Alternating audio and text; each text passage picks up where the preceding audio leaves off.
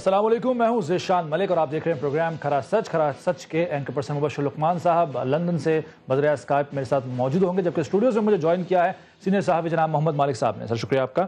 مبشر صاحب، ویسے تو سیاست بڑی بے رحم چیز ہے اور ہمارے ملک کی سیاست تو بڑے بڑے رنگ دکھاتی دکھاتی ہے اور ماضی کے حریف، حلیف ہوتے دیر نہیں لگتی، لیکن سوچا نہیں تھا، کم از کم میں نے نہیں سوچا تھا، چودھری برادران کے در پر دستک دیں گے۔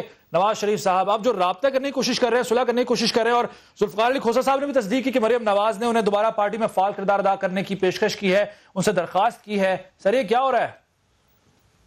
دیکھیں جی بات یہ ہے کہ نواز شریف صاحب کو تو جیل نظر آ گئی ہے، اور ان کو پتا ہے کہ اس ملک میں کم ہی لوگ ہیں جن کے اخلاق اتنے اچھے ہیں کہ وہ برائیوں کرنے کے باوجود دوسروں کے ساتھ اچھائی کرتے ہیں۔ چودھری برادران جو ہیں، وہ ان میں سے ہیں کہ جو اپنے در پہ آئے ہوئے کسی کو ٹھکراتے نہیں ہیں۔ لیکن آپ کو میں یہ بتا دوں کہ چودھری برادران اپنے تمام دوستوں سے ہاتھ دھو بیٹھیں گے اگر انہوں نے اس حال میں نواز شریف کا ہاتھ پکڑا۔ ان کو چاہیے کہ ان کے گھر میں کھانا کھلائیں ان کو پانی پلائیں ان کو چائے پلائیں اور اس کے بعد ان کو خدا حافظ کہہ کے گھر سے باہر بھیج دیں۔ اور ایسا ہی ہوگا کیونکہ یعنی نواز شریف صاحب کے والد کے فوت ہونے پہ، چوتھی شجاعت کی والدہ کی وفات پہ بڑی لوگوں نے کوششیں کی ان کو ملوانے کی۔ تو نواز شریف کا غرور جو ہے، اللہ تعالیٰ معاف کرے، وہ سر چڑھ کر بول رہا تھا۔ اور اور انہوں نے ایسے ایسے جملے کسے کہ میں ریپیٹ نہیں کر سکتا یہاں پہ۔ میں اس لیے نہیں کہ وہ ولگر تھے، اس لیے کہ ان میں غرور اور رونیت اتنی زیادہ بھری ہوئی تھی۔ تو میں اب اللہ تعالیٰ سے دیکھ رہا ہوں۔ اور صرف مجھے ایک بات پہ یقین ہو گیا کہ اللہ تعالیٰ کی حاکمیت جو ہے وہی ہمیشہ رہنے والی ہے۔ پہلے بھی یقین تھا اور اب یقین کامل ہے۔ اور نواز شریف کو کسی کی سزا نہیں مل رہی، یہ اللہ کی طرف سے بھیجی ہوئی پکڑ میں پکڑا جا چکا ہے یہ آدمی۔ اور یہ ہر در پہ اب اس نے ذلیل اور رسوا ہونا ہے۔ اور پاکستانیوں کو بھی دوسری طرف قیمتیں چکانی آج جیسے بھٹو کی برسی ہے۔ اب دیکھا نا قائد اعظم فوت ہو گئے لیاقت علی خان شہید ہو گئے علامہ اقبال گزر گئے زندہ ہے اس ملک میں دوسرا بھٹو زندہ ہے ارے کمال ہے یار اپنے جب سارا سال ایک شخص زندہ رہتا ہے تو آج کے دن کیوں مر جاتا ہے؟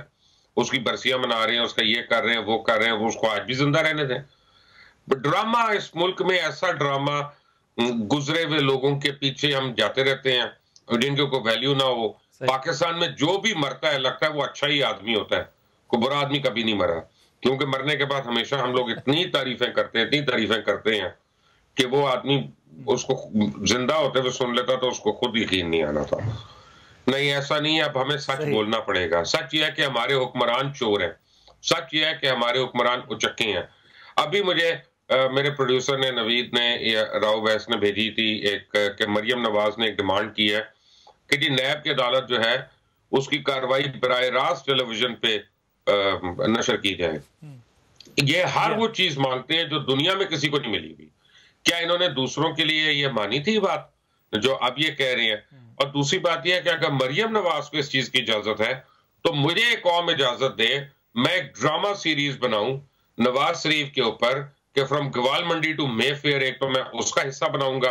اور دوسرا بناؤں گا کہ جس طرح سے انہوں نے اس کیس کو لڑا عدالت کے باہر اور عدالت کے اندر نہیں لڑا اور مجھے پوری عدالت کے اندر ہونے والے، سپریم کورٹ کے اندر ہونے والے واقعات دکھانے کی اجازت دی جائے تاکہ میں ان کا بھی، ان کو بھی آئینہ دکھاؤں اور ان کی اوقات باقی لوگوں کو دکھاؤں کہ سات وکیل کیسے بدل گئے سپریم کورٹ میں کیوں بدل گئے۔ یہ باہر آ کے ڈرامہ جو کر رہی ہے، جھوٹ بول رہی ہے یہ عورت، یہ اپنے باپ کو مروا چکی ہے۔ یہ اب صرف یہ کوشش کر رہی ہے کہ کسی طرح میں اس کو دفن کروا دوں اور اس کی پاپولیرٹی میں میں انکیش کروں۔ اور یہ اس کا اس کے اپنے چچا سے بغض اپنے کزن سے بغض اپنے گھر والوں سے بغض یہ جو ہے سمجھ ہی نہیں آتی مجھے تو۔ مالک صاحب زرداری صاحب نے تو تمام کوششیں رد کر دیں صلح صفائی کے لیے جتنی بھی شریف برادران کی طرف سے کی گئیں۔ چودھری برادران بھی ایسے کریں گے؟ نہیں اٹس یہ کیس ہے ٹو لٹل ٹو لیٹ کا۔ آپ نے دیکھا کہ پچھلے دنوں دو ہفتے انہوں نے جوڈیشری اور فوج پہ بھی خاموشی اختیار کی۔ اب دوبارہ وہ اگین ڈیسپریٹ کوشچن جاری تھیں بیک گراؤنڈ میں۔ کہ کسی طرح کچھ رپروشما ہو جائے کوئی این آر او ہو جائے کچھ صلاح نامہ ہو جائے۔ ان کی طرف سے دروازے بند نہیں ہوئے۔ ان کو دروازے بند ہو گئے فوج کی طرف سے۔ جوڈیشری کی طرف سے تو کبھی کھلے ہی نہیں تھے۔ اس لیے وہ تو بالکل کلیئر چیز تھی۔ یہ ڈیسپریٹ باتیں آپ ساری۔ ایگزیکٹلی ان کو نظر آ رہا ہے۔ یہ اور میاں صاحب کی جو کل کی تقریر تھی جلسے میں اس میں ایک جملہ بڑا مزیدار تھا۔ اگر آپ کے پروڈیوسر کے پاس ہو تو چلوا دیں۔ انہوں نے کہا میں جہاں سے بھی حکم دوں گا تو مانو گے۔ یعنی کہ جہاں سے کہاں سے؟ سیدھی سی بات ان کو پتا ہے کہ میں نے اندر ہونا ہے۔ اور وہ اب ان کو نظر آ رہا ہے۔ اور یہ جو مریم نے بات کی ہے کہ جی کاروائی دکھائیں۔ باہر جانے کی بھی آپشن ہے جی۔ نہیں باہر تو ابھی اب اب میرے خیال میں نہیں ہے۔ آپشنز تھیں وہ بند ہو گئی ہیں۔ دو چار ہفتے پہلے تک ڈیفینیٹلی ٹیبل پہ ایک دو آپشنز تھیں۔ ٹھیک ہے باہر چلے جائیں ہم کچھ آپ کی رسپائٹ دے دیں گے۔ یہ نہیں ہوتا کیسی سے کہتے تھے کیسے ختم کریں۔ اچھا۔ مریم نے جو یہ بات کی ہے بی بی نے کہ جی آپ مقدمہ دکھائیں۔ مجھے یاد ہے ایک فوٹوگراف لیک ہوئی تھی حسین نواز کی ٹیم سے بیٹھے ہوئے۔ قیامت آ گئی آئی تھنک سٹیج ون میں پھر ایک کام کریں۔ ان کو مطالبہ کرنا چاہیے اور سپریم کورٹ کو اگری کرنا چاہیے کہ جے آئی ٹی کی رپورٹس نکال دیں جو ریکارڈنگز ہیں۔ صحیح۔ جے آئی ٹی میں سب بیٹھے ہیں نا۔ یہ کہتے ہیں کہ جے آئی ٹی میں ظلم ہوا ہے جے آئی ٹی نے ساتھ زیادتی کی۔ تو چلیں یہ تو اب لائیو کر دیں بے شک لائیو کر دیں۔ میں تو اس حق میں ہوں ہر مقدمہ لائیو کر دیں۔ Everybody behaves better also اور چھپانے کی کیا ضرورت ہے؟ کر دیں لائیو لیکن تاکہ جو سرکس باہر چل رہی ہے ان کا خیال ہے ہم اندر بھی کریٹ کریں گے یہ بہت لیٹ ہو گیا۔ میں تو کہتا ہوں کہ Supreme Supreme Court J I T کی جو سی انویسٹیگیشنز تھیں وہ ساری ریکارڈڈ ہیں۔ ان کی ویڈیو ریکارڈنگز ہیں۔ آپ وہی کھول دیں۔ آپ کو پتہ لگ جائے گا جو کہتے ہیں جی فلانے طارق شفیع کے ساتھ یہ ہوا فلانے کے ساتھ یہ زیادتی ہوئی ہمارے ساتھ بدتمیزی ہوئی۔ پتہ لگ جائے گا کہ وہاں کیا کیا۔ انہوں نے کیا ثبوت دے دیے یہ کہتے ہیں نا کہ ہم نے ثبوت دیے نہیں ہے۔ ہاں۔ تو اگر ریکارڈنگز کھلنی ہیں تو let start with J I T recordings اور سب کچھ۔ دیکھیے حقیقت یہ ہے کہ اب رائٹنگ از آن دا وال اور ایک چیز ویری کوئکلی میں ایک چیز ایڈ کرنا چاہتا ہوں۔ یہ آپ عدالت نے فیصلہ کرنا ہے پوائنٹس آف لا پہ۔ پوائنٹس آف ریٹرک پہ فیصلہ نہیں کرنا۔ عدالت سے باہر نکل کے آپ کہتے ہیں اس نے واجد زیادہ کچھ ثابت نہیں کر سکا۔ بھائی واجد زیادہ نے ثابت نہیں کرنا۔ کسی نے ثابت نہیں کرنا۔ سیکشن نو سیکشن چودہ بڑا کلیئر ہے۔ اگر آپ ایک جائیداد ایک ایسٹ کہتے ہیں ہمارا ہے اس کے بعد یہ آپ پہ لازم ہے کہ آپ بتائیں گے کہ اس کے ذرائع کس طرح تھے کہاں سے۔ اور اگر آپ نہیں کر سکتے تو کیوں کیا جائے گا کہ یہ حرام کا پیسہ ہے۔ کسی نے کچھ ثابت نہیں کرنا ثابت تو صرف نواز شریف صاحب نے اور ان کے خاندان نے کرنا۔ بالکل ٹھیک ہے۔ صابر شاکر صاحب نے جوائن کیا ہے مجھے صحافی جناب صابر شاکر صاحب آپ کے پاس بھی اطلاعات یقیناً ہوں گی۔ چودھری برادران سے رابطہ کرنے کی کوشش کرنے کی کوشش کی جا رہی ہے۔ اب پھنسے ہیں، برا وقت آیا ہے تو پرانے ساتھی یاد آ رہے ہیں۔ کوئی یہ کوششیں کامیاب ہوں گی؟ دیکھیں، اس وقت تو کوششیں کیا کامیاب ہونی ہیں؟ کیونکہ یہ شخص خوردہ بھی ہیں، سزا یافتہ بھی ہیں۔ اور اب یہ کوشش کریں گے دوبارہ اچھے بننے کی۔ جن لوگوں کو انہوں نے پچھلے سال تک اگنور کیا اور ان کو، ان کے لیے سیاست کے دروازے بند کیے، اپنے گھر کے دروازے بند کیے، یہ ممکن نہیں ہے۔ پالیٹکس بڑا ایک بے رحم قسم کا کھیل ہے اس میں دل نام کی کوئی چیز نہیں ہوتی۔ اب جو دس سال پیچھے انہوں نے سوچا اب جن لوگوں سے یہ رابطے کر رہے ہیں وہ بھی اسی طریقے سے سوچ رہے ہیں۔ اور اس وقت ان کو کوئی میرا نہیں خیال کہ کوئی کہیں سے بھی کوئی سیاسی ریلیف ملے گا یا قانونی ریلیف ملے گا یا عدالتوں کی طرف سے ریلیف ملے گا۔ کیونکہ یہ بہت آگے تک جا چکے ہیں اداروں کو بھی بدنام کرنے میں گالم گلوچ میں بھی۔ اور اور اپنے سیاسی حریفوں کو بھی اور سیاسی حلیف جو تھے ان کو بھی۔ اب تو میرا خیال آنے والے دنوں میں جو ان کے سیاسی حلیف ہیں وہ بھی ناراض ہو جائیں گے اور ان کا جو ایک صرف آخری نظریاتی بھائی جو ہیں وہ بچیں گے۔ محمود خان اچکزئی اس کے علاوہ مجھے نہیں لگتا کہ آنے والے دنوں میں ان کے سیاسی تنہائی میں اضافہ ہوگا، اس میں کوئی کمی واقع نہیں ہوگی۔ بالکل غلط کہہ رہے ہیں، سوری، ان کا نظریاتی بھائی صرف ایک ہے جس کا نام مودی ہے۔ اور مودی کہے گا تو اچک صحیح بھی ساتھ ہے، مودی کہے گا تو باقی لوگ بھی ساتھ ہیں۔ صابر آپ اپنی قبلہ صحیح کریں نواز شریف اور مودی بھائی بھائی ہیں۔ صابر شاک دیکھیں کر لیجیے مودی اب تو اب تو آنے والے دنوں میں یہ پہلے ان کی رخصتی ہوئی ہے اس کے بعد مودی کی بھی رخصتی ہو جائے گی کیونکہ اگلا الیکشن اگلے کچھ دنوں کے بعد انڈیا میں بھی الیکشن ایئر شروع ہو جائے گا۔ تو میں اس پوائنٹ آف ویو سے کہہ رہا ہوں تو صرف ایک ان کے پاس جو نظریاتی بھائی جو پاکستان میں بچیں گے وہ محمود خان اچکزئی ہوں گے۔ اس کے علاوہ شاید کوئی اور بھائی ان کو نہ مل سکے۔ اچھا صابر صاحب کوئکلی آپ جواب چاہوں گا آپ سے۔ مبشر صاحب نے کل دہرایا اپنی اس بات کو جو پہلے کئی مرتبہ وہ کہہ چکے ہیں کہ فارورڈ بلاک بن رہا ہے مسلم لیگ نواز میں اور تعداد بھی انہوں نے اپروکسیمیٹلی بتائی تھی۔ آپ کے پاس کیا اطلاعات ہیں؟ کیا تیار بیٹھے ہوئے ہیں؟ ممبران اور کارکنان، رہنما کہ جی ہم اپنے راستے جدا کریں۔ اب تو روزانہ ان کے جو لوگ ہیں وہ تتر بتر ہو رہے ہیں۔ دن ایسا نہیں ہوتا جب ان کا کوئی ایم این اے یا ایم پی اے دوسری جماعت جوائن نہیں کر رہا ہوتا خاص طور پہ پاکستان تحریک انصاف کی طرف زیادہ رجحان ہے جبکہ ایک گروپ الیکٹیبلز کا مسلم لیگ نواز کے اندر ایسا موجود ہے جو یہ سمجھتا ہے کہ ان کا سیاسی طور پہ نبھا جو ہے وہ عمران خان کے ساتھ نہیں ہو سکتا۔ اس لیے وہ کوشش کر رہے ہیں کہ پی ٹی آئی جوائن کرنے کے بجائے یا تو وہ تو وہ اپنا الیکٹیبلز کا ایک اپنا گروپ بنا لیں وہ مسلم لیگ نون فارورڈ ہو سکتا ہے وہ کوئی اور نام سے بھی ہو سکتا ہے کیونکہ وہ ایسے لوگ ہیں کیونکہ ان کا ان کا خیال ہے یہ جو الیکٹیبلز اور جن کا ایک میٹنگ بھی ہو چکی ہے ان کی تعداد پینتیس چالیس کے قریب ہے۔ ان کا خیال ہے کہ عمران خان چونکہ ایک بہت سخت گیر آدمی ہیں اور وہ اپنے لوگوں کی اپنے M N As M P S کی معمولی سے معمولی غلطی بھی معاف نہیں کرتے اور کے پی کے میں انہوں نے اپنے لوگوں کو گرفتار بھی کروایا کابینہ سے بھی برطرف کیا۔ صابر ایک قطع کلامی ہو رہی ہے سوری لیکن بات یہ ہے کہ عمران خان تو جب آئیں گے حکومت میں یا پارلیمنٹ میں وزیر اعظم بن کے تو پھر ان پہ کامنٹ کر لیں گے۔ دو باتیں اس وقت بڑی اہم آ رہی ہیں۔ اور مالک صاحب اور صابر صاحب دونوں سے میرا مطالبہ ہے کہ آپ دونوں پلیز میری آواز کو آگے پہنچائیں۔ دونوں طاقتور ہیں اور برقد آور شخصیات ہیں۔ کل میں نے چیلنج کیا تھا کہ میاں شہباز شریف میں چھوٹے بھائی کی بات کر رہا ہوں میاں شہباز شریف کے بھی لنڈن میں فلیٹ ہے ایجویر روڈ کے اوپر ہیں۔ میں ان کی تصویریں لا رہا ہوں، میں ان میں ان کے پتے لا رہا ہوں اور میں تمام تفصیلات لے رہا ہوں۔ اور آپ دونوں کو یاد ہوگا کہ میاں شہباز شریف نے کہا تھا کچھ سال پہلے کہ میں نے اپنے فیملی کو کہا ہے کہ جی سارے اثاثے بیچ کے پیسہ جو ہے پاکستان واپس لے آئیں۔ یہ نہیں لے کے گئے۔ انہوں نے وہ بھی جھوٹ بولا۔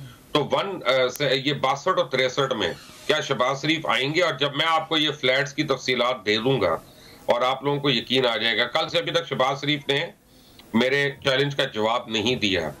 ایسی صورت میں کیا یہ لوگ حکمرانی کے قابل ہیں؟ مجھے مجھے تو یہ پتا ہے کہ جو ان کا ایک ایک آدھا فلیٹ ہے وہ تو شاید ڈکلیئرڈ ہے۔ یہ کہ بیچا ہے کہ نہیں بیچا؟ Frankly Mubashir I don't know I don't know about that so I don't know کہ بشر صاحب نے چیلنج کل بھی کیا تھا آج بھی دہرایا وہ تو وہ تو شہباز شریف کا جواب دیں گے نا۔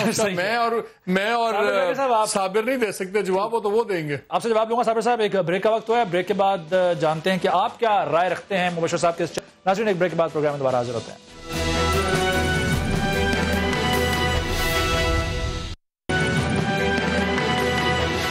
پروگرام میں ایک بار پھر خوش آمدید۔ بریک پہ جانے سے پہلے محمد بشر لقمان صاحب نے محمد مالک صاحب اور صابر شاکر صاحب کے سامنے ایک سوال رکھا۔ کنی کترا گئے محمد مالک صاحب تو لیکن کنی نہیں۔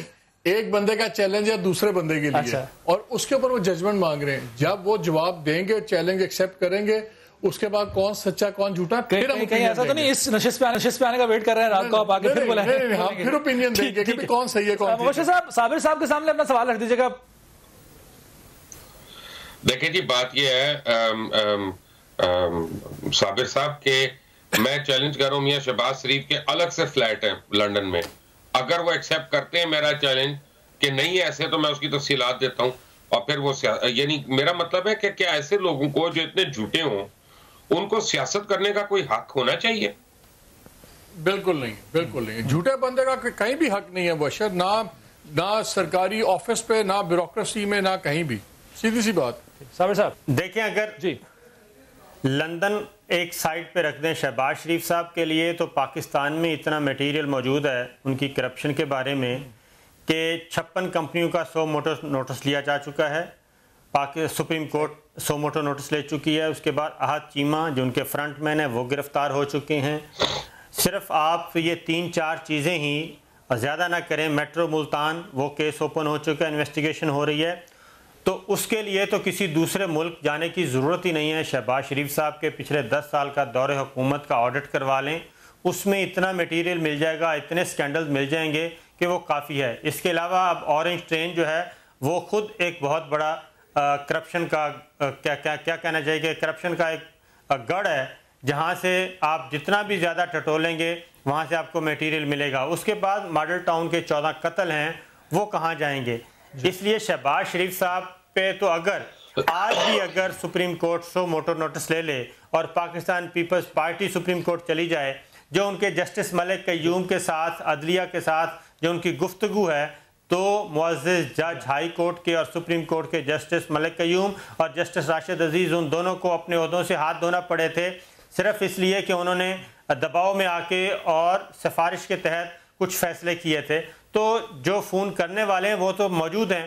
تو شہباز شریف صاحب کو اگر قانون پکڑنا چاہے اور اگر ہمارے سسٹم میں اتنی سخت ہو تو ان کے لیے یہیں اتنا مواد موجود ہے کہ وہ لندن کے فلیٹس تو بہت دور کی بات ہے صرف پنجاب کے پچھلے دس سال کافی ہوں گے ان کو پکڑنے کے لیے۔ ٹھیک ہے۔ برطانوی حکومت نے معلومات فراہم کی فراہم کی ہیں۔ آپ کے پاس کیا اطلاعات ہیں؟ جی۔ جی بالکل انہوں نے کر دی اور اس کے عوض انہوں نے بہت بھاری رقم بھی وصول کی ہے ایسی بات نہیں ہے۔ There a prize for everything اور انہوں نے رقم لی ہے۔ دیکھیں پاکستان میں ہو کیا رہا ہے۔ میں اگر آپ اجازت دیں تو مالک صاحب کے لیے اور صابر صاحب کے لیے ایک ذرا سا نیریٹو دوں۔ اور کیونکہ آج بھٹو کی اینیورسری کا دن ہے تو بڑا ابھی آپ لوگوں نے منانا بھی ہے سب کچھ بھی ہونا ہے۔ اور منایا بھی جا رہا ہوگا روئیں گے بھی اس کی تعریفیں بھی ہوں گی۔ لیکن 1967 میں بنی تھی پاکستان پیپلز پارٹی۔ 1967 میں پاکستان پیپلز پارٹی نے اپنا مینیفیسٹو جو دیا تھا اور اس منشور میں کہا تھا کہ سی ای سی جو ہے وہ ہر ممبر الیکٹ ہوگا یعنی اس سے پیپلز پارٹی میں۔ 1967 سے لے کے یہ 2018 آ گیا ہے۔ بھٹو صاحب کی زندگی میں بھی جتنی باری بھی سی ای سی بنی اور آج بھی جتنی باری سی ای سی بنی، وہ ایک بھی آدمی الیکٹ نہیں ہوا۔ ہر آدمی سلیکٹ ہوا۔ یعنی یہ خود اپنے منشور پہ یہ لوگ عمل نہیں کرتے۔ بھٹو صاحب نے اپنے بنائے ہوئے منشور پہ عمل نہیں کیا۔ پھر آپ کو بتاؤں کہ جس چیز کو ہم لوگ کئی دفعہ ضیاء الحق صاحب سے منسوب کرتے ہیں کہ جی یہ فنڈامنٹلزم کی ویو ان کے ساتھ آئی تھی۔ اگر آپ اس کو غور کریں تو بھٹو صاحب سے آئی تھی پہلی بار تھا کہ جب اسلامی جمہوریہ ڈکلیئر ہوا وزیر اعظم اور صدر کے اوپر پابندی لگی کہ وہ غیر مسلم نہیں ہو سکتے گورنر بھی وزیر اعلیٰ بھی۔ پھر اسی آئین میں ترامیم جو ہوئی، لوگوں کو غیر مسلم بھی ڈکلیئر کیا گیا۔ میں صحیح غلط کی صحت پہ نہیں جا رہا، میں دیکھ رہا ہوں کہ جب پارلیمنٹ یا حکومت جو ہے، اپنے آپ کو کے لیول پہ لے آتی ہے، تو وہاں پہ یعنی آپ اس کو کہیں گے کہ نہیں کہیں گے کہ وہ اصول پرست پرستی یا فنڈامنٹلزم جو ہے، وہ سٹیپ ان کر رہی ہے۔ پھر شراب کی ممانعت ہو گئی، جمعے کی چھٹی ہو گئی اسلامک سمٹ ہو گیا، اسلامک بامب ہو گیا۔ کون سی ایسی چیز ہے جو کے پی کے میں آپ دیکھیں، ایم ایم اے کی حکومت نے کی اور اس سے پہلے اس سے زیادہ اسٹرانگلی بھٹو صاحب نے نہیں کر دی۔ تو اگر آج جو فنڈامنٹلزم کی ویو ہمیں خطے میں نظر آ رہی ہے، وہ بھٹو صاحب کا بڑا عمل دخل ہے اس میں۔ جتنے لوگ کہتے ہیں نا کہ وہ بڑے ماڈرن تھے لبرل تھے اور وہ بڑے کوئی انلائٹنڈ تھے، مجھے نہیں لگتا وہ۔ اور میں تو سی سی کو لے رہا ہوں کہ جس میں کوئی بھی آدمی الیکٹ نہیں ہو رہا، مالک صاحب، صابر صاحب، یہ پارٹی جو اپنے منشور کو نہیں سیف گارڈ کرتی جو اپنے الیکشن نہیں کراتی وہ عوام کے اندر الیکشن کا مطالبہ کیسے کرتی ہے؟ صحیح جی سر مالک صاحب۔ ساری پارٹیز کا یہی حال ہے۔ دیکھیں یہ آپ ادھر دیکھ لیں آپ پی ایم ایل میں دیکھ لیں آپ کسی بھی دوسری پارٹی میں دیکھ لیں پرابلم یہ ہے کہ یہاں ڈیموکریسی تو پارٹیز میں خود نہیں ہے۔ جہاں پارٹیز ناموں پہ ہوں وہاں پہ کیا ڈیموکریسی ہوگی؟ اس لیے I am not surprise Mubashir کی بات بالکل ٹھیک ہے کہ یہاں ایکچولی جب آپ کانٹینٹ میں ایپلز ٹو ایپلز کمپیئر کرتے ہیں آپ کو نظر آتا ہے واقعی فرق نظر نہیں آتا۔ وہ میں ایک بڑا میرا فیوریٹ جملہ میں ریپیٹ پھر کر دیتا ہوں۔ والٹیئر کی سینگ ہے اس نے کہا when it comes to money everybody has the same religion کہ جب بات آتی ہے نا پیسے کی ان سب کا مذہب ایک ہو جاتا ہے۔ اسی طرح یہ جتنے جمہوری دعوے دار بیٹھے ہوئے ہیں ان کا ایک ہی کانسیپٹ ہے جمہوریت کا اور وہ ہے their right to rule as long یہ طاقت میں ہوں سب ٹھیک ہے۔ اگر یہ طاقت سے باہر ہے تو سب غلط ہے۔ سیٹھی صاحب کا ایک مجھے یاد ہے جب پندرہویں امینڈمنٹ آ رہی تھی تو میاں صاحب کی بڑی فیمس جس میں امیر المومنین بننا تھا جی، کانسٹیٹیوشن جی، امینڈمنٹ جی، تو انہوں نے ایک ایڈیٹوریل لکھا تھا اس کے اندر فرائیڈے ٹائمز میں۔ اور اس کے اندر انہوں نے دو فکرے لکھے۔ انہوں نے کہا کہ جب نواز شریف صاحب پاور میں ہوتے ہیں تو جو جمہوریت ہے وہ حرام ہوتی ہے۔ اور جب یہ اپوزیشن میں ہوتے ہیں تو جمہوریت حلال ہو جاتی ہے. And use the word kosher یہ بات ہر وقت یہی ٹھیک ہے. آج آپ دیکھ لیں. آج ان کو قانون بھی نظر آ گیا کہ عدالتوں میں کیا نقائص ہیں. نیب کا بن گیا. آپ پانچ سال سے سینٹر میں تھے. آپ نے نیب کو کیوں چینج نہیں کیا؟ آپ پینتیس سال سے آن اینڈ آف پاور میں رہے ہیں. آپ نے تب قوانین ٹھیک کیوں نہیں کیے؟ بات یہ جب اپنے گردن پہ چھری پھرتی ہے الٹی تو پھر ہمیں تکلیف بہت زیادہ ہوتی ہے. جب تک لوگ خوار ہو رہے ہوتے نہیں ہیں تو اس لیے ان کا جمہوریت کا کانسیپٹ رائٹ ٹو رول ہے. رائٹ ٹو گورن نہیں ہے اور یہ فرق انگریزی انگریزی میں رول اور گورننس کا بڑا واضح ہونا چاہیے۔ یہ رول کرنا چاہتے ہیں۔ گورننس میں بلیو نہیں کرتے رول میں اور رول تو پھر بادشاہوں کا اچھا ہوتا ہے۔ صاحب صاحب آپ کے بھی کمنٹس جاننا چاہوں گا میں اس پر کہ رول کرنا اور گورن کرنا فرق فرق بھی بتایا مالک صاحب نے بھی۔ آپ اس سے اتفاق کریں گے اور مبشر صاحب نے جس طرح پاکستان پیپلز پارٹی کا حوالہ دے کر کہا کہ وہاں پہ بھی سلیکشن ہوتی ہے الیکٹ نہیں ہوتے لوگ۔ دیکھیں جو میں سمجھ سکتا ہوں آپ شاید پارٹیز کے اندر اندر جو ڈیموکریسی کا فقدان ہے اس کی بات کر رہے ہیں۔ جی۔ اور تمام عہدیداران جبکہ الیکشن رولز جو ہیں الیکشن قوانین تو یہ ہیں کہ ہر جماعت کے اندر انتخابات ہوں اور تمام عہدے جو ہیں وہ انتخابات کے ذریعے فل کیے جائیں باقاعدہ ایک دوسرے کے درمیان مقابلہ ہو۔ لیکن پاکستان میں پولیٹیکل پارٹیز کوئی ایک جماعت بھی ایسی نہیں ہے کہ جس میں پہلے سے پتہ نہ ہو کہ کس صاحب نے پریزیڈنٹ بننا ہے اور کس نے سیکٹری بن سیکٹری جنرل بننا ہے۔ پولیٹیکل پارٹیز پہ بھی جو اس وقت فیملی فیملیز کی ڈکٹیٹرشپ ہے، جمہوریت نام کی کوئی چیز نہیں ہے۔ یہ پولیٹیکل پارٹیز بیسیکلی خاندانوں کی سیاسی جاگیریں ہیں۔ اور اس میں آپ کوئی بھی مذہبی جماعت لے لیں یا کوئی سیاسی جماعت لے لیں، تمام جماعتیں اس میں بالکل ایک ہی صف میں ہیں۔ اس میں کوئی شک و شبہ نہیں ہے۔ وہ خواہ پاکستان پیپلز پارٹی ہے مسلم ہے مسلم لیگ نواز ہے مسلم لیگ کاف ہے جماعت اسلامی ہے جے یو آئی ہے اے این پی ہے ایم کیو ایم ہے جتنی بھی سیاسی جماعتیں ہیں ان سب کے ہاں کوئی ڈیموکریسی نام کی کوئی چیز نہیں ہے۔ یہ سب سلیکشن پہ چل رہی ہیں۔ جو پارٹی ہیڈ ہے۔ جماعت اسلامی میں تو ہے۔ جماعت اسلامی میں جماعت اسلامی میں جماعت اسلامی کی آئرونکلی جو سی مالک صاحب اس میں جماعت اسلامی اس کے دیکھیں اپنے اندر جمہوریت ہے۔ میں جمعیت علماء میں اسلام میں میں نہیں جماعت ہے اسلامی کی ایک مثال جماعت دے رہا ہوں۔ جماعت اسلامی کی ایک مثال دے رہا ہوں کہ سید منور حسن صاحب نے کوئی ایک سٹیٹمنٹ دیا تھا۔ تو ان کو امارت سے ہٹایا گیا۔ ان کو امارت سے کیوں ہٹایا گیا تھا؟ وہ جماعت اسلامی کا فیصلہ نہیں تھا۔ وہ ایکسٹرنل پریشر تھا۔ نہیں نہیں اسی طریقے سے اس کے بعد سراج الحق- صاحب تو سید منور حسن صاحب تو اپنی بیماری کے باعث گئے اس تھے۔ کے بعد لیکن اس fact کے بعد سراج الحق صاحب مولانا مودودی کی اولاد نہیں آئی جماعت اسلامی کے اوپر میاں تو فیل محمد کی اولاد نہیں آئی یہ جناب بات- قاضی حسین احمد صاحب کی یہ اولاد بات نہیں صحیح آئی ہے کہ وہاں پہ موروسی وہاں پہ وہاں پہ موروثیت نہیں ہے لیکن جماعت اسلامی کے اندر بھی سب کچھ امیر کے پاس ہے۔ جماعت اسلامی کے امیر جو ہیں وہی سیاہ و سفید کے مالک ہیں ان کی رائے سے صابر اختلاف ایشو نہیں کیا یہ جا نہیں نہیں سکتا۔ صابر صابر ان کا ان کا سٹرکچر بالکل وہ خلیفہ والا بنایا ہوا ہے لیکن جو امیر بذات خود امیر کی سلیکشن ہے اس سے زیادہ جمہوری انداز میں نہیں ہوتی وہ اس کے بعد اس کے پاس پاور آتی ہے۔ بات یہ ہو اور رہی ہے یہاں سب کو شورا پہ پتہ ہے باؤنڈ ہے۔ یہاں سب امیر کو بھی پتا ہے کہ بھٹو صاحب اچھا، کے بعد ہاں ایگزیکٹلی یہاں سب کو پتا ہے کہ بھٹو صاحب کے اچھا، اس بعد میں جناب دیکھیں۔ میں بی بی آئیں گی بی بی کا بلاول یہاں کے بچے۔ ایک منٹ صابر اور مالک صاحب میں آپ ایک کو ایک۔ سوال پوچھتا ہوں۔ ایک منٹ ایک منٹ سر۔ میں کہہ رہا ہوں کہ بس سیاست یہ آپ یہ دیکھیں کہ ایک آدمی اپنا نام ہی بدل لیتا ہے۔ اور ایک سڈنلی ول نکلتی ہے ایک وصیت نکلتی ہے۔ کاغذ کا ایک ٹکڑا ہے نہ وہ فورینزک لیب کے پاس جاتا ہے نہ اس کی تصدیق ہوتی ہے۔ اور ایک آدمی اپنا نام بدلتا ہے۔ اور وہ یہاں پہ کروڑوں لوگوں کی ترجمانی کرنا شروع ہو جاتا ہے۔ ہے؟ thing. دیکھیں میں میں ذاتی طور پر موروثی سیاست کے خلاف نہیں ہوں۔ وکیل کا بچہ وکیل بنتا ہے ڈاکٹر کا ڈاکٹر بنتا ہے جرنلسٹوں کے آدھے بچے صافی بن جاتے ہیں جو انوائرمنٹ آپ کی ہوتی ہے سن لیں۔ میری بات ختم ہونے دیں۔ بات سن لیں۔ لیکن پروسیس میں گزرے۔ لیٹس سے اگر جارج بش کا بیٹا دوبارہ دوسرا بش بھی آیا وہ اپنے پروسیس سے گزرا۔ جیف بش بھی پروسیس سے گزرا۔ ہمارے سے مسئلہ یہ ہے کہ ہمارے یہاں اب انڈیا میں دیکھ لیں، اگر وہاں پہ سنجے گاندھی آیا بھی ہے، تو کتنا عرصہ لگا ایک پروسیس سے گزرا ہے پارٹی کے اندر۔ وہ فورٹی لیٹ لیٹ فورٹیز میں آگے اس کو پارٹی صدارت ملی، لیکن پروسیس بات موروسی کی نہیں ہے بات وراثت کی ہے۔ جو جس طرح آپ وراثت پاس آن پاس آن کریں، وہ غلط ہے۔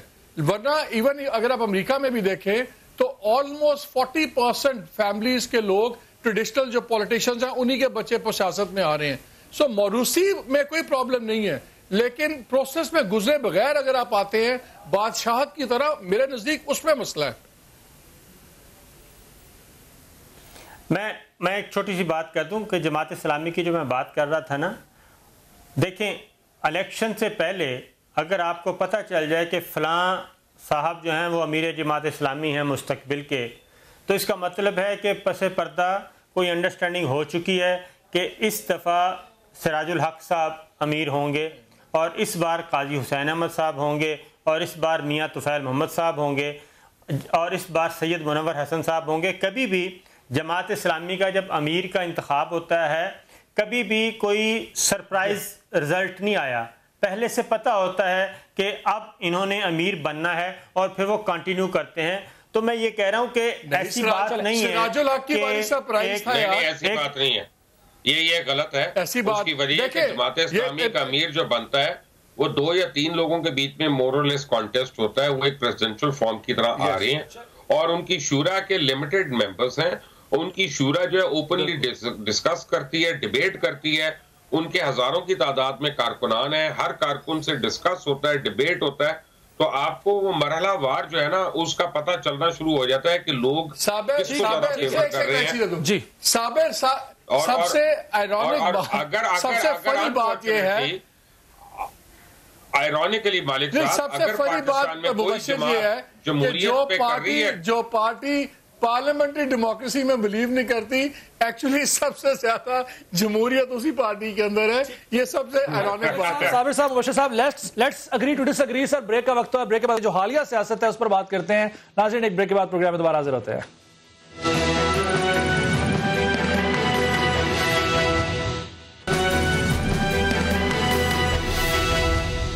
بریک کے بعد پروگرام ایک بار پھر خوش آمدید۔ مبشر رحمان صاحب، خادم حسین رضوی اور تحریک لبیک، رسول اللہ کے جو دھرنا ہے، تجاج ہے، اس کے پیچھے مسلم لیگ نواز یہی کہتی آئی ہے کہ فوج ہے۔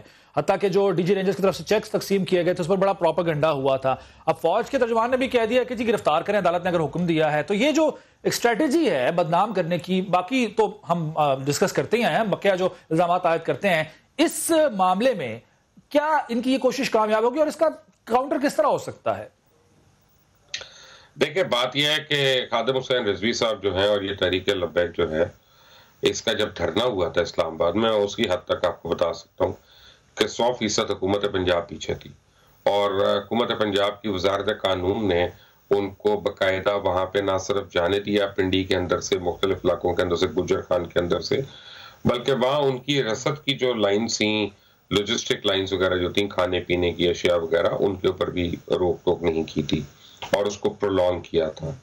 اور آپ دیکھیں کہ دیگر دھرنوں پہ، جیسے جب کے پی کے سے، آ رہے تھے پرویز خٹک صاحب، آ رہے تھے عمران خان کو ملنے بنی گالا میں، تو تب پولیس نے کس طرح بہیو کیا تھا اور کس طرح کی شلنگ ہوئی تھی اور موٹر بیس کو کس طرح بند کیا گیا تھا۔ اور جو خاتم حسین رضوی کے ساتھ دو ہزار، ڈھائی ہزار بندہ تھا، ان کو کس طرح کا پروٹوکول دے کے ان کو وہاں پہ لے جایا گیا تھا۔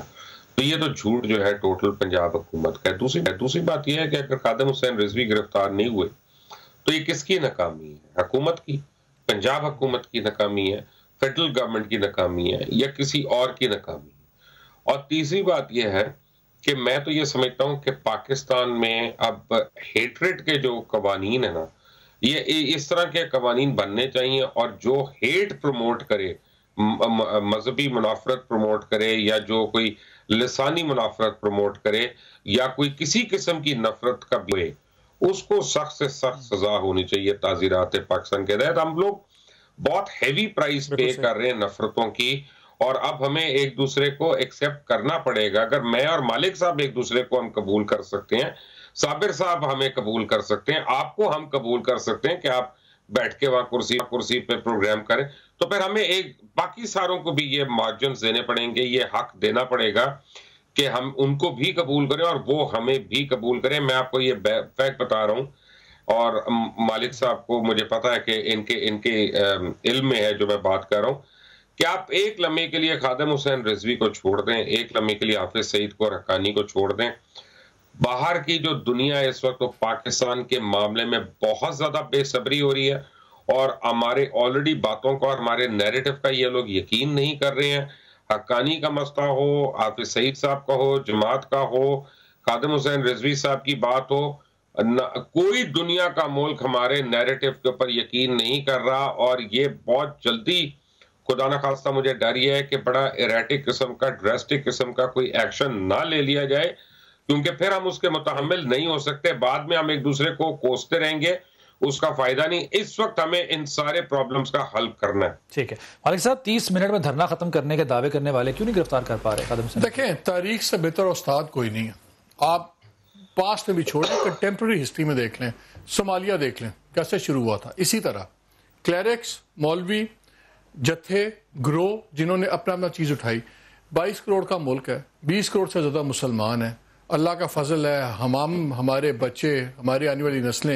رسول اللہ کے ناموس پہ قربان۔ لیکن یہ جو ٹھیکے داری ہے جو دکانداری ہے اللہ کے نام پہ رسول کے نام پہ یہ نہیں ہو سکتی۔ یہ جتھوں کا ملک جتھوں نے ملک نہیں بنایا لیکن جتھے ملک توڑ ضرور سکتے ہیں۔ اگر ریاست ایپلیکیٹ کر رہی ہے اپنا رول تو تو پھر جو رائٹنگ آن دا وال ہوگی۔ لالسنس ہوگی لا قانونیت ہوگی بالکل وشر کی بات ٹھیک ہے۔ ہم نے پہلے بھی فرینکنسٹائن دیکھے۔ ہم نے جہاد افغانستان کے نام پہ جتھے بنائے۔ کشمیر کے نام پہ ایک جائز جہاد اپنی جگہ ہے لیکن جو دوسرے کرمنل ایکٹیویٹیز ہوئی ہیں اس کا نتیجہ کیا بھگت رہے ہیں؟ پورے دنیا میں آج ہمارے پہ لان تان ہو رہی ہے۔ جی۔ پوری دنیا میں ہمارے لیے ہمارے گرد گھیرا تنگ ہو رہا ہے۔ ایسے لوگ جن کے ماضی کا پتہ نہیں ہوتا اچانک کہیں سے اٹھتے ہیں اللہ رسول کے نام پہ اسے سیاست شروع کر دیتے ہیں سڈنلی جتھے بن جاتے ہیں۔ ریاست کیونکہ اپنی کرپشن کے مسئلوں میں پھنسی ہوئی ہے۔ جو پرائم منسٹر موجودہ یا سابقہ سب کچھ ان کو یہی فکر ہے کہ نیب ہمارے ساتھ کیا کرے گا کیا نہیں کرے گا۔ ان کو ملک کی قوم کی فیوچر کی کوئی فکر نہیں ہے۔ اپنی ذاتی جنگوں میں پڑے ہوئے قوم کی جنگ کہاں سے لڑنی ہے؟ یہ ایشوز ہم بھگت چکے ہوئے ہیں۔ ہم ملک آدھا گوا چکے ہوئے ہیں۔ ہم اپنی سوسائٹی کا ٹوٹل فیبرک تباہ کر چکے ہوئے ہیں۔ ہمیں کوئی اس میں حیرانی نہیں ہے۔ اگر یہ انکنوینئنس ہے کہ جی کیسے ہاتھ ڈالیں گے اگر آپ نہیں ڈال سکتے خدا کا واسطہ گھر چلے جائیں۔ تاکہ ہمیں بھی واضح ہو جائے اگر ہم نے بھی جتھوں کی صورت میں زندہ رہنا ہے تو کل کو ہم لوگ بھی بیٹھ کے ایک جتھا بنائیں۔ ہم بھی قانون کو چھوڑیں ہم بھی دو ہزار بندہ کٹھا کریں ہم بھی بدماشی کریں پھر اس طرح زندہ رہنا ہے۔ ملک ایسے نہیں چلتے۔ اگر اس معاملے کو بھی حکومت نے نہ دبایا تو اب دیکھیے گا اس کے بھی بڑے بھیانک نتیجے صاحب کچھ ایڈ کرنا چاہ رہے تھے۔ میں مالک صاحب کو باور کرا رہا تھا کہ ہم لوگ ہم ایک ڈس ہسٹری uh, کا شکار ہیں۔ مثلا میں جب بھی بات کرتا ہوں لاہور میں بھی پنڈی میں بھی کسی کہتا ہے جی ہم نے اسپین کو فتح کیا۔ ارے بابا آپ نے اسپین کو نہیں فتح کیا وہ اربوں نے کیا تھا فتح۔ آپ اپنی اوقات میں رہیں۔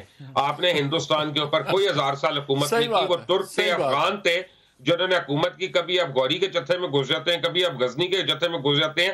آپ نے غلامی کی ہے یہاں پہ۔ اپنی اوقات کو یاد رکھیں کوئی آپ بڑی قوم نہیں ہے عظیم قوم نہیں ہے۔ اور اگر آپ آج بھی آپ کی آپ کی آنکھیں نہیں کھلتی اور آپ نہیں جاگتے تو آپ بحثیت قوم ہی شاید ایگزسٹ نہ کریں۔ ٹھیک ہے صابر صاحب آپ بتائیے گا سر آئے مائیں شائع کرنے کے بجائے اگر حرمت رسول قانون پر جنہوں نے ڈاکہ ڈالا ان کو بے نقاب کیا جائے تو کیا یہ بہتر نہ ہوگا؟ پرائرٹیز کچھ اور ہے گورنمنٹ کی؟ دیکھیں بات وہی ہے کہ ہم ان کی تو عدالتیں بھی احکامات جاری کر رہی ہیں سب کہہ رہے ہیں گرفتار کریں یہ کریں وہ کریں۔ تو ان کے ساتھ تو ایگریمنٹ خود وفاقی وزیر داخلہ احسن اقبال صاحب نے کیا تھا کیا تھا۔ وفاقی حکومت نے کیا جی۔ تھا۔ پرائم منسٹر شاہد خاکان عباسی کی اپروول کے بعد کیا تھا اور اس معاہدے کی باقاعدہ اپروول ہوئی تھی اور اس کے بعد وہ معاہدہ ایک طے پایا اور اس کے بعد وہ ڈسپرس ہوئے۔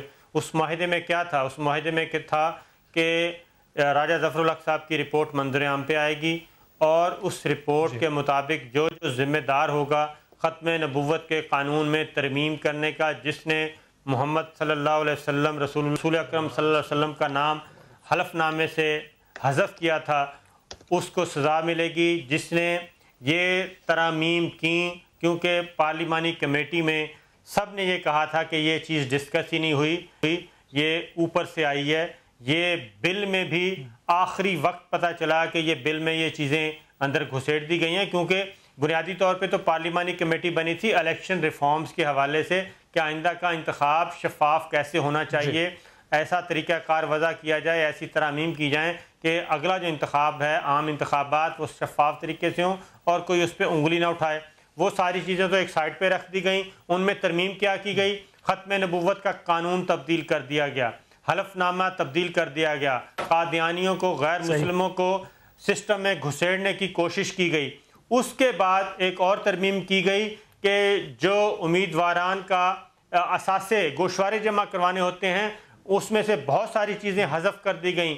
اس میں یہ بھی حذف کر دیا گیا کہ ان کے بیوی کے نام ان کے بچوں کے نام کیا پراپرٹیز ہیں اور یہ اور ان کی ڈیٹیلز کیا ہیں۔ یہ ساری چیزیں کی گئیں۔ اصل مجرموں کو پکڑا نہیں جا رہا اصل مجرموں کو گرفتار نہیں کیا جا رہا ان کو سزائیں نہیں دی جا رہی بلکہ سارے کا سارا جو ملبہ ہے وہ ایک مولوی صاحب پہ آ کے سب کا نزلہ ادھر گرتا ہے کہ جناب ان ان کو گرفتار کریں۔ انہوں نے ریاست کو چیلنج کیا۔ بھائی انیس سو تہتر کا قانون متفقہ آئین اس کو جس نے اس نے تحریف کی اور اگر وہ تحریف صحیح تھی تو پھر اس کو ڈیفینڈ کرتے اور اس کو انڈو نہ کرتے۔ اس کے بعد پھر دوبارہ میں میں باقی صابر کی ساری باتیں ٹھیک ہیں لیکن ہیونگ سیٹ دیٹ آپ یہ جواز نہیں دے سکتے کسی کو بھی کہ وہ کسی کی نااہلی یا گورنمنٹ کی نالائکی یا چور چورا کے میں- جو بھی ہو اس پہ۔ یہ اس کو رائٹ ملے کہ وہ جتھا بنا کے قبضے رہا۔ ہم کہیں کہ اس کے بعد جواز ہے وقت ختم ہو گیا تھرٹی سیکنڈز ہیں مبشر صاحب آپ مالک صاحب۔ Thirty seconds